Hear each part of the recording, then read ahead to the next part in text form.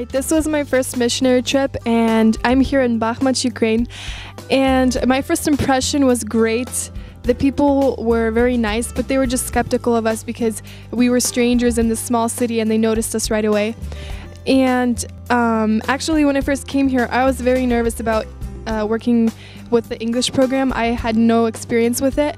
But through that, I just learned how to trust God completely and depend only on Him, and He's been helping us with that. It's been a big success. We we've become good friends with the um, students in that class through that program.